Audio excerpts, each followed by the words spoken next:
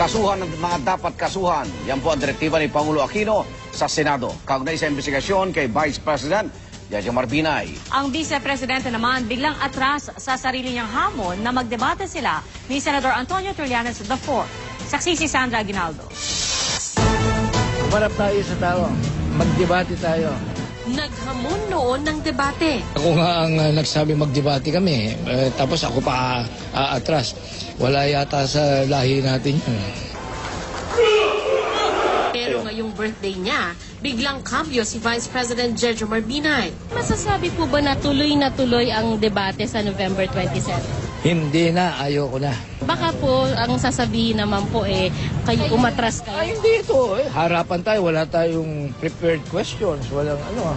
Ayoko naman nung uh, hindi pa nag-uumpisa, eh, parang uh, sa- pagkatapos ng usapan, sinabi ko na eh, walang mga ano eh. Oh. Ah, pangit naman yun. ganun. Vice, Para ba bang, para bang inaapi ko, sinasamantala ko siya. Ang ayaw daw niyang apihin, ang hinamong si Senador Antonio Trillanes IV. Sabi kasi ng senador sa naunang interview, dehadong dehado tayo kasi veteranong politiko siya at abogado siya. Alam niya yung mga nitty-gritty ng pagdidebate. Ako po, sundalo. Ayoko na nga ng ganun eh. Dahil sa ang lumalabas doon, mapang-api ko, sinasamantala ko yung, ah, yung advantage ko. hirit ngayon ni Trillanes, Wala po siyang isang salita. Importante po yan sa isang halal na opisyal na pagka nagsabi ka ng isang bagay, dapat tutuparin mo. Natakot lang siya sa katotohanan. ikatlong pagkakataon na raw yan. Nitong Webes, no-show si Binay sa pagdinig ng Senado.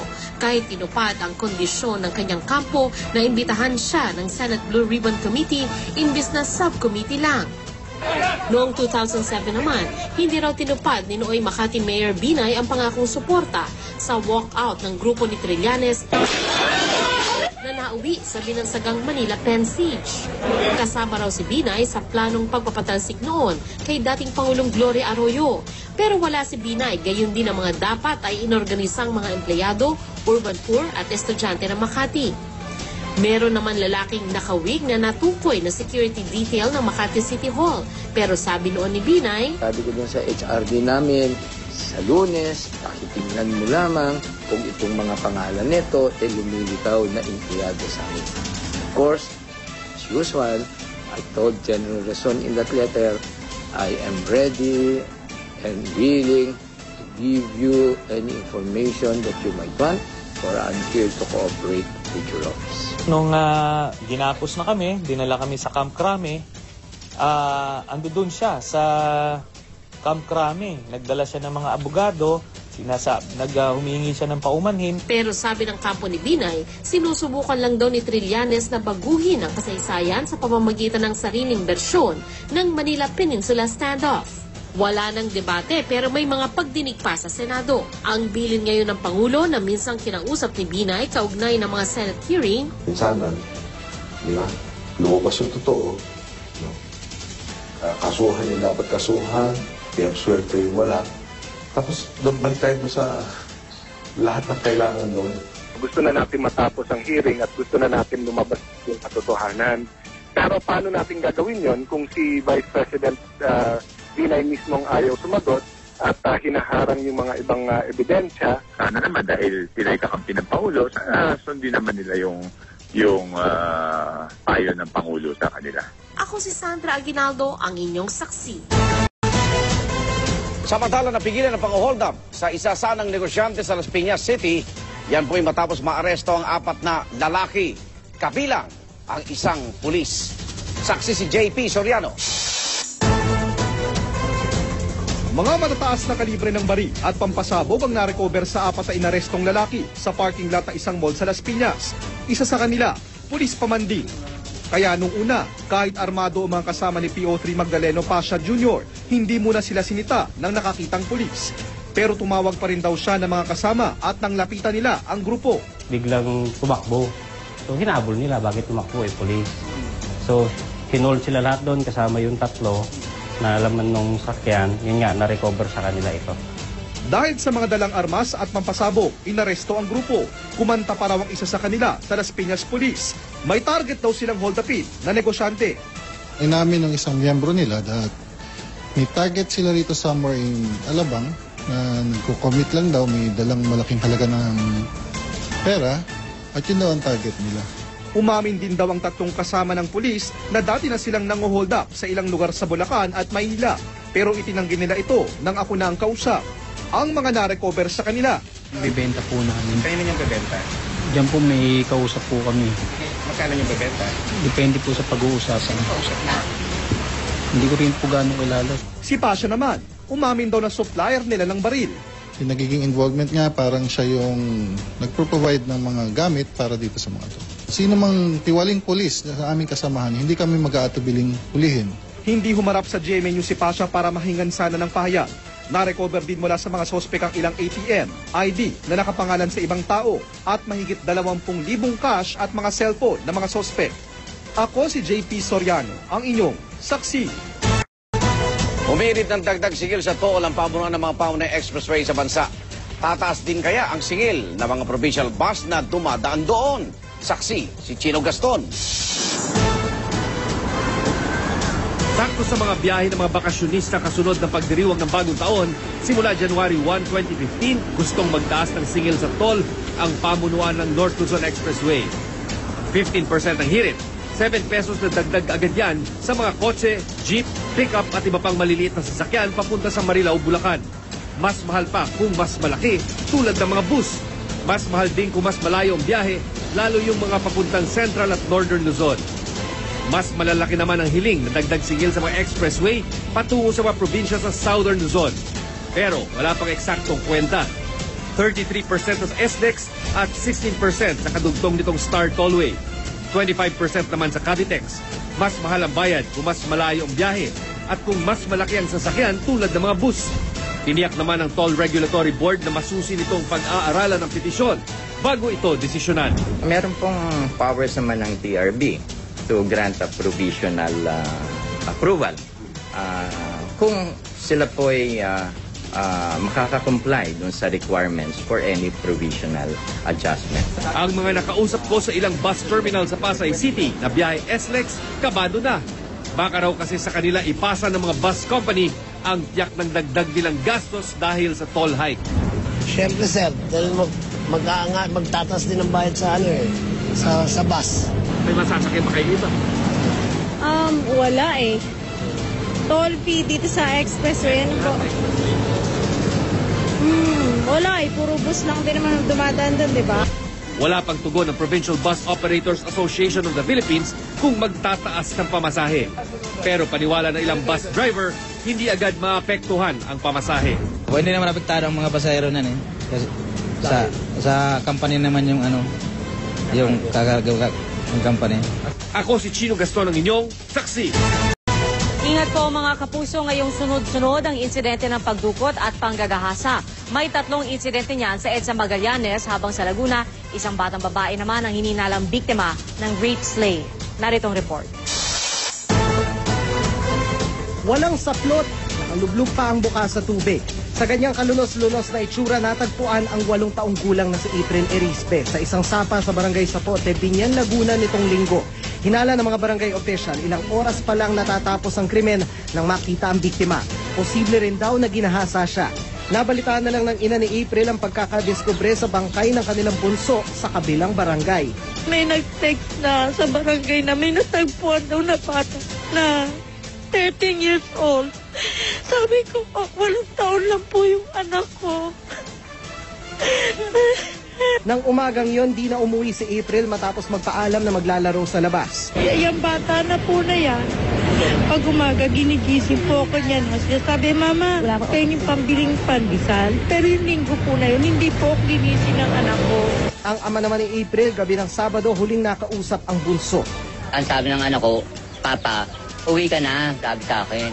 Ngayon po, nung pag, opo, ah, sabi ko, uh, gumalang po, opo, nene, sabi ko, uwi ako. Promise, sabi niya sa akin, promise ha, Papa. Oo, uwi na ako. Sabi ng mga opisyal ng barangay, suspect ang lalaking nakuna ng CCTV na nag-angkas sa bisikleta ng biktima. Ngayong gabi, nahuli na ang suspect. At yung mga magulang po, dahil yung mga anak lagi po ninyo babantayan lagi. Sa EDSA Magallanes naman, may tatlong kaso na raw ng pagdukot habang naglalakad ayon sa MMDA. Isinakay sila sa van, pinagsamantalahan at itinapon kung saan-saan. Kabilang ang 21 taong gulang na apo ng lolang ito. May van na sumusunod, dahan-dahan takbo. Pag tapat doon sa kanya, bigla siyang hinagpapasok. Natagpuan daw nung mag-ina, mag-ina sa Blakad. Sa Talahiban daw, walang malay. Naglaan na ang MMDA ng 200,000 pesos na pabuya sa sino man makapagtuturo sa mga suspect. Magdaragdag din daw sila ng CCTV camera sa ilalim ng Magallanes Interchange. Tumanggi muna ang Makati Police na magbigay ng pahayag sa GMA News kaugnay sa insidente. Dano Tingkong, GMA News. May nilinaw ngayon si Health Secretary on Leave Enrique Ona tungkol sa presyo ng mga kontrobersyal na bakuna kontra pneumonia na binili ng kagawaran. Narito po ang aking report. Hindi nag-leave kundi pinag-leave mismo ni Pangulo Aquino si Health Secretary Enrique Ona. Sabi ng Pangulo, yan daw ay habang iniimbestigahan ang pagbili ng DOH noong 2012 ng pneumococcal conjugate vaccine o PCV-10 imbes na PCV-13 na inirekomenda ng ilang grupo kabilang ang World Health Organization. Mas sulit dahil mas maraming sakit daw kasi ang napipigilan ng PCV-13. Ipinasapina na nga ng NBI si Ona at siyang pang personalidad na may kinalaman sa issue. Kung merong mababayulit na, gaya ng sabi ni Secretary, ni Ma'am, kung may mababayulit na batas, criminal or administrative, then we will, ano, we will file ano, issue. Pero sabi ni Ona sa isang pahayag na binasa ni DOH spokesman Lyndon Lee Suy, mas mura raw ang PCV-10 noong 2012. 15.40 US dollars ang halaga nito bawat vial, habang 16.34 dollars ang PCV-13. It is in the appreciation of the cost effectiveness of these two competing vaccines for Filipino children that usual medical discussion and differences is being presumed to have been tinged with grass. Nagbili naman daw si Ona bago mag-leave na bumuo ng Independent Review Committee para tutukan ang issue.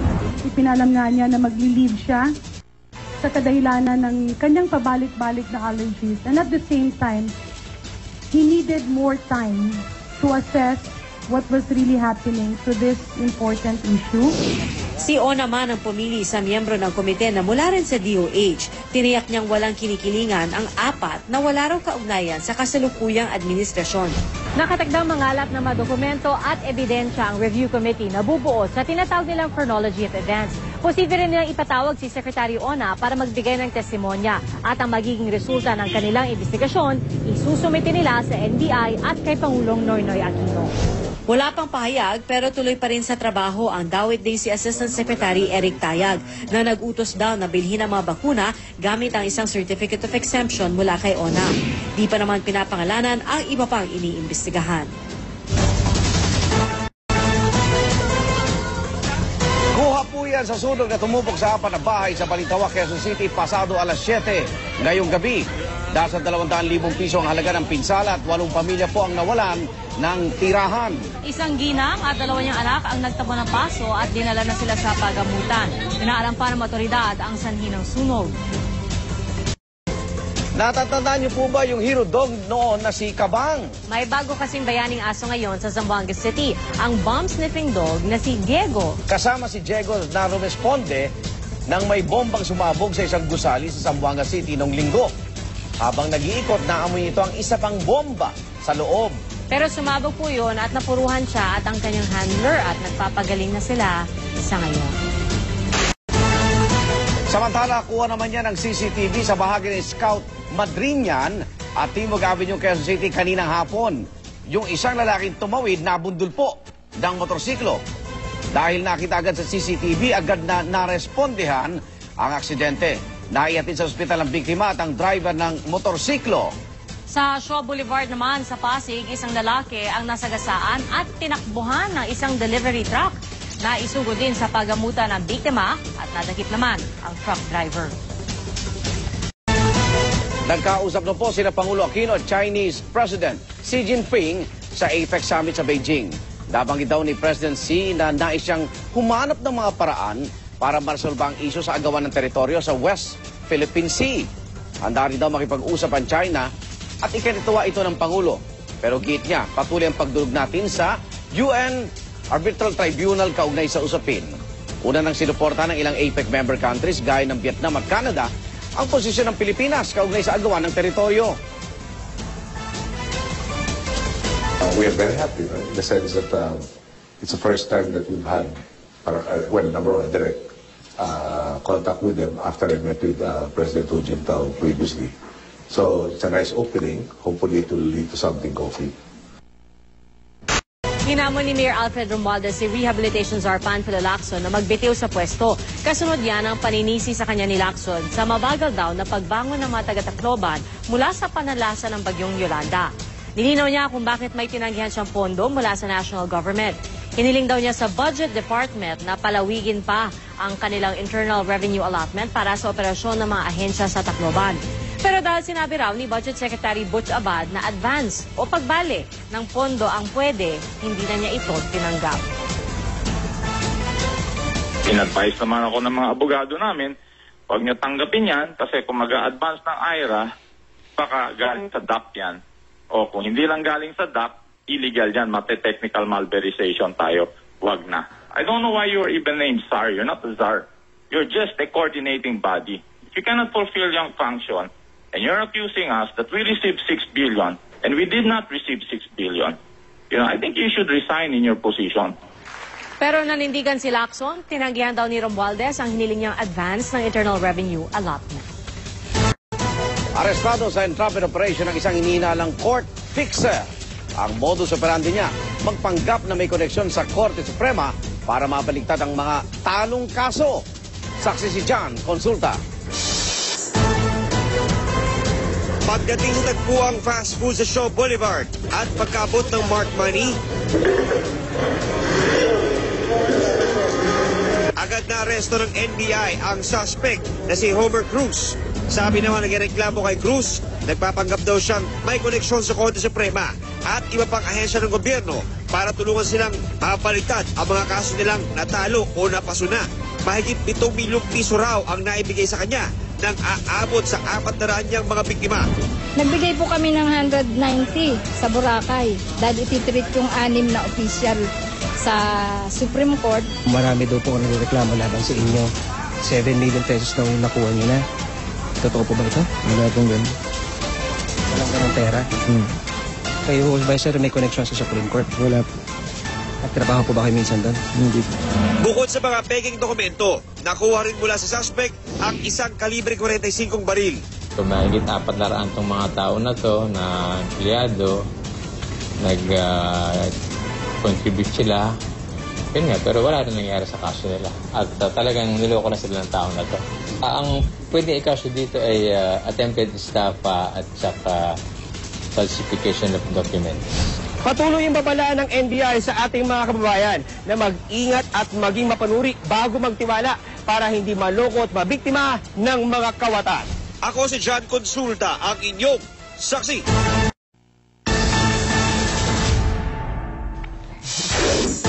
Sa mga ayaw maasiman sa ilaw ng mangga, ito po ang diskarte na hindi ginagamitan ng karaniwang bagoong. Ito imported recipe pero may Ilocano twist. At ang secret ingredient, Ano? ukoy, nako. Ukoy? Oo, tikman na yan, Mikael Daes. Simple lang tayo ngayong gabi sa Midnight Express. Ano ang makukuha nyo pag dinagdag nyo ang ukoy sa green mango salad? Simple lang yan. Pag-isipan nyo. Tara. So right now, what we have here is the crispy ukoy and green mango salad. Okay, so Okay. this is one of our best sellers sa Simple lang. Makakaibang na. It's a Thai in, uh, Thai inspired salad. Okay, so rather than using the traditional catfish na normal uh, Thai salad, so what we did here is uh, we use Ilocano style ukoy. Ah, okay. Hindi pa nakakasubok naman maraming mga Thai food. Naninibago ako sa mga ganitong putahe. So here you have the uh, uh, all of the flavors. May sweet, may asin, may konting anghang, and then yung crispy ng ukoy to balance everything. Okay. Tama eh tayong mga Pilipino. Gusto natin maraming mga texture tayo nararamdaman eh, no? Galing pa sa Thailand ang putaheng crispy catfish green mango salad o yam pla duk fu. Habang ang crispy ukoy naman ay ang nakasanayan nating ukoy na may maliliit na hipon at harina na siyang nagdidikit-dikit rito. Galing sa Ilocos ang putaheng ito at kahanay nito ang empanada na isa rin Ilocos pride. So yung dressing po ng green mango salad, ano po to? So yung dressing is nook calamansi. Okay, so maasim rin. Maasim sa maasim to. Maasim na may konting sweetness naman. So nagbabalance naman yung flavor niya. Okay. Ukoy on green mango salad. Woo! Not bad. Actually, Jack, sa totoo lang, medyo natakot ako kasi sabi niyo green mango, maasim. Kalamansi, maasim din. Ay, ako nga yung sinigang ko, gusto ko hindi masyado maasim. Yeah, I like this kasi katamtaman lang yung asim niya. Yung lutong ng ukoy, talagang nababalansin yung asim. Parang nahihigop niya yung asim. Yung asim, yeah. Tsaka nag-add ng texture. Isa sa Mm. So bagay na bagay siya. In fairness sa kanya, possibly the first green mango dish na nagustuhan ko. Hindi ko may green mango at all. In the words of my Becky friends, achieve ang putahing kinain natin tonight dahil nabalanse ang asim ng green mango salad ng ukoy. O, di ba? Type ko yan. Ako po si Mikael Diaz. This is Midnight Express. Good night! Kasuhan ng mga dapat kasuhan. Yan po ang direktiba ni Pangulo Aquino sa Senado. Kaugnay sa investigasyon kay Vice President Yaja Marbinay. Ang vice-presidente naman biglang atras sa sarili niyang hamon na magdebate sila ni Senador Antonio Trillanes IV. Saksi si Sandra Aguinaldo. Umarap tayo sa tao. Magdebate tayo. Naghamon noon ng debate. Ako nga ang uh, nagsabi magdebate kami. Eh, tapos ako pa uh, atras. Wala yata sa lahi natin yun. Pero ngayong birthday niya, biglang cambio si Vice President Sergio Marbinay. Masasabi po ba na tuloy na tuloy ang debate sa November 27? Hindi na, ayoko na. Baka po ang sasabihin naman po eh, kayo umatras kayo. Ay, hindi ito. Eh. Harapan tayo, wala tayong prepared questions. Walang ano. Ayoko naman nung uh, hindi pa nag-uumpisa, eh, parang uh, sa- pagkatapos ng uh, usapan, sinabi ko na eh, walang mga ano eh. Oh. Ah, pangit naman yun. ano Para ba bang, para bang inaapi ko, sinasamantala ko siya. Ang ayaw daw niyang apihin, ang hinamong si Senador Antonio Trillanes IV. Sabi kasi ng senador sa naunang interview, Dehadong dehado tayo kasi veteranong politiko siya at abogado siya. Alam niya yung mga nitty-gritty ng pagdidebate. Ako po, sundalo. Ayoko na nga ng ganun eh. Dahil sa ang lumalabas doon, mapang-api ko, sinasamantala ko yung, ah, yung advantage ko. hirit ngayon ni Trillanes, Wala po siyang isang salita. Importante po yan sa isang halal na opisyal na pagka nagsabi ka ng isang bagay, dapat tutuparin mo. Natakot lang siya sa katotohanan. ikatlong pagkakataon na raw yan. Nitong Webes, no-show si Binay sa pagdinig ng Senado. Kahit tinupad ang kondisyon ng kanyang kampo na imbitahan siya ng Senate Blue Ribbon Committee imbis na subcommittee lang. Noong 2007 naman, hindi raw tinupad ni Nooy Makati Mayor Binay ang pangakong suporta sa walkout ng grupo ni Trillanes na nauwi sa binansagang Manila Pen Siege. Kasama raw si Binay sa planong pagpapatalsik noon kay dating Pangulong Gloria Arroyo. Pero wala si Binay, gayon din ang mga dapat ay inorganisang mga empleyado, urban poor at estudyante ng Makati.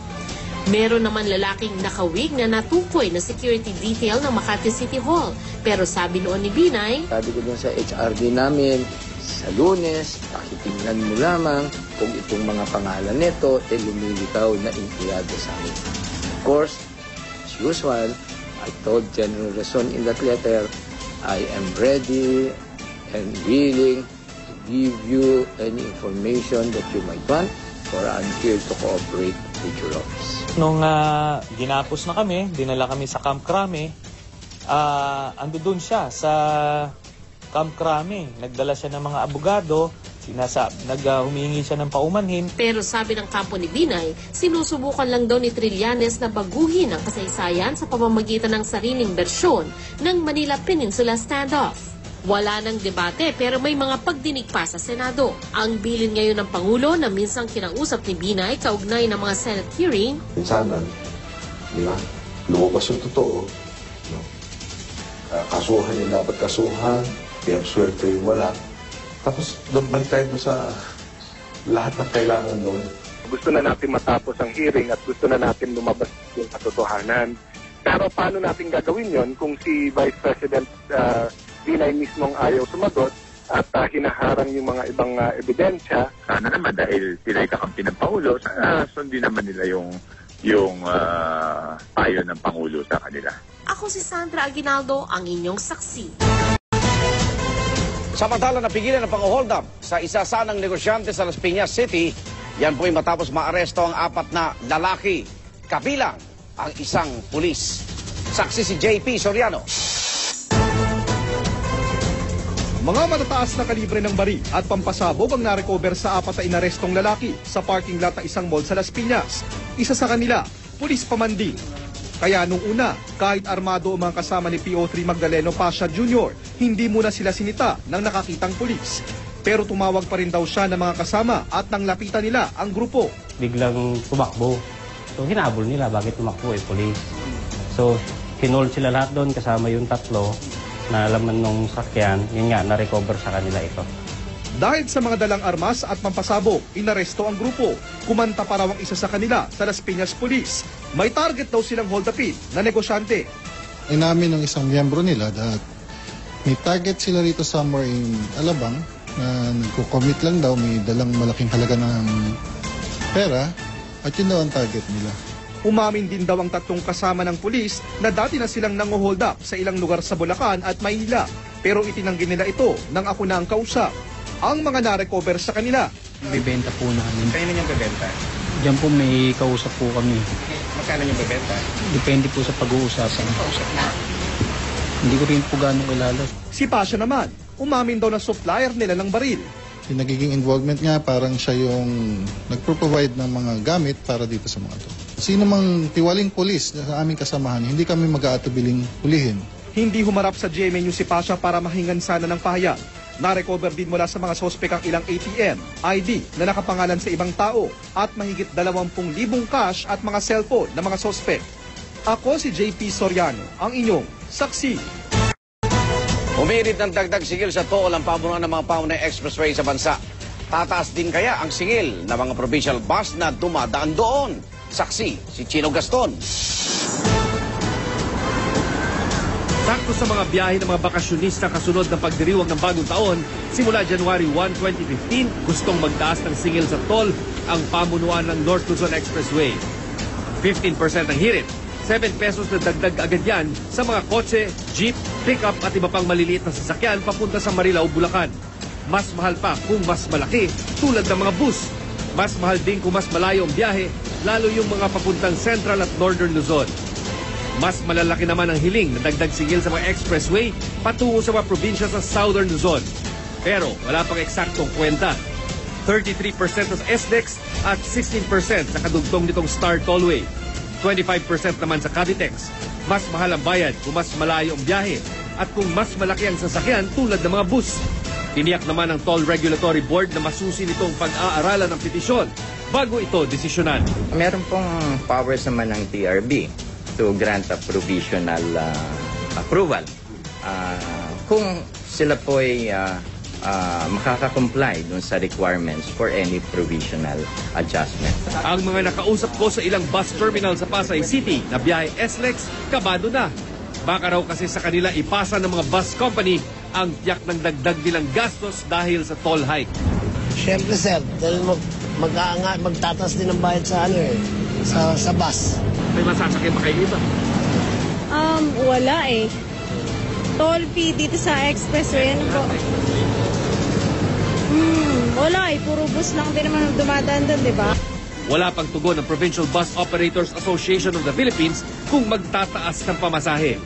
Pero paniwala ng ilang bus driver, hindi agad maapektuhan ang pamasahe. Pwede naman apektado ang mga pasahero nan eh. Kasi sa sa company naman yung ano yung kakagawa ng company. Ako si Chino Gaston ang inyong saksi. Ingat po mga kapuso ngayong sunod-sunod ang insidente ng pagdukot at panggagahasa. May tatlong insidente niyan sa EDSA Magallanes habang sa Laguna, isang batang babae naman ang hininalang biktima ng rape slay. Narito ang report. Walang saplot, nakalublog pa ang buka sa tubig. Sa ganyang kalunos-lunos na itsura natagpuan ang walong taong gulang na si April Erispe sa isang sapa sa barangay Sapote, Binyan, Laguna nitong linggo. Hinala ng mga barangay official, ilang oras pa lang natatapos ang krimen nang makita ang biktima. Posible rin daw na ginahasa siya. Nabalitaan na lang ng ina ni April ang pagkakadiskubre sa bangkay ng kanilang bunso sa kabilang barangay. May nag-text na sa barangay na may natagpuan daw na bata na 13 years old. Sabi ko, oh, walang taon lang po yung anak ko. Nang umagang yon, di na umuwi si April matapos magpaalam na maglalaro sa labas. Y- yung bata na po na yan, pag umaga, ginigising po ako niyan. Sabi, Mama, kayong pambiling pandesal. Pero yung linggo po na yun, hindi po ako ginising ng anak ko. Ang ama naman ni April, gabi ng Sabado, huling nakausap ang bunso. Ang sabi ng anak ko, Papa, uwi ka na, sabi sa akin. Ngayon po, nung pag, opo, ah, sabi ko, uh, gumalang po ako, opo, nene, sabi ko, uwi ako. Promise, sabi niya sa akin, promise ha, Papa. Oo, uwi na ako. Sabi ng mga opisyal ng barangay, suspect ang lalaking nakuna ng CCTV na nag-angkas sa bisikleta ng biktima. Ngayong gabi, nahuli na ang suspect. At yung mga magulang po, dahil yung mga anak lagi po ninyo babantayan lagi. Sa EDSA Magallanes naman, may tatlong kaso na raw ng pagdukot habang naglalakad ayon sa MMDA. Isinakay sila sa van, pinagsamantalahan at itinapon kung saan-saan. Kabilang ang 21 taong gulang na apo ng lolang ito. May van na sumusunod, dahan-dahan takbo. Pag tapat doon sa kanya, bigla siyang hinagpapasok. Natagpuan daw nung mag-ina, mag-ina sa Blacan. Sa Talahiban daw, walang malay. Naglaan na ang MMDA ng 200,000 pesos na pabuya sa sino man makapagtuturo sa mga suspect. Magdaragdag din daw sila ng CCTV camera sa ilalim ng Magallanes Interchange. Tumanggi muna ang Makati Police na magbigay ng pahayag sa GMA News kaugnay sa insidente. Dano Tingkongko, GMA News. May nilinaw ngayon si Health Secretary on Leave Enrique Ona tungkol sa presyo ng mga kontrobersyal na bakuna kontra pneumonia na binili ng kagawaran. Narito po ang aking report. Hindi nag-leave kundi pinag-leave mismo ni Pangulo Aquino si Health Secretary Enrique Ona. Sabi ng Pangulo, yan daw ay habang iniimbestigahan ang pagbili ng DOH noong 2012 ng pneumococcal conjugate vaccine o PCV-10 imbes na PCV-13 na inirekomenda ng ilang grupo kabilang ang World Health Organization. Mas sulit dahil mas maraming sakit daw kasi ang napipigilan ng PCV-13. Ipinasapina na nga ng NBI si Ona at siyang pang personalidad na may kinalaman sa issue. Kung merong mababayulit na, sa gaya ng sabi ni Secretary ni Ma'am, kung may mababayulit na batas, criminal or administrative, then we will, ano, we will file ano, requirement Pero sabi ni Ona sa isang pahayag na binasa ni DOH spokesman Lyndon Lee Suy, mas mura raw ang PCV-10 noong 2012. 15.40 US dollars ang halaga nito bawat vial, habang 16.34 dollars ang PCV-13. It is in the appreciation of the cost effectiveness of these two competing vaccines for Filipino children that usual medical discussion and differences is being presumed to have been tinged with graft. Nagbili naman daw si Ona bago mag-leave na bumuo ng Independent Review Committee para tutukan ang issue. Ipinalam nga niya na magli-leave siya sa kadahilanan ng kanyang pabalik-balik na allergies. And at the same time, he needed more time to assess what was really happening to this important issue.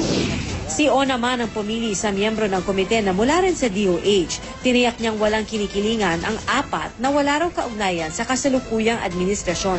Nakatagdang mangalap ng mga dokumento at ebidensya ang review committee na bubuo sa tinatawag nilang chronology of events. Posible rin nilang ipatawag si Secretary Ona para magbigay ng testimonya at ang magiging resulta ng kanilang investigasyon isusumite nila sa NBI at kay Pangulong Noynoy Aquino. Wala pang pahayag pero tuloy pa rin sa trabaho ang dawit din si Assistant Secretary Eric Tayag na nag-utos daw na bilhin ang mga bakuna gamit ang isang Certificate of Exemption mula kay ONA. Di pa naman pinapangalanan ang iba pang iniimbestigahan. Kuha po yan sa sunog na tumupok sa apat na bahay sa Balintawak, Quezon City pasado alas 7 ngayong gabi. Nasa 200,000 piso ang halaga ng pinsala at walong pamilya po ang nawalan ng tirahan. Isang ginang at dalawa niyang anak ang nagtabo ng paso at dinala na sila sa pagamutan. Inaalam pa ng otoridad ang sanhi ng sunog.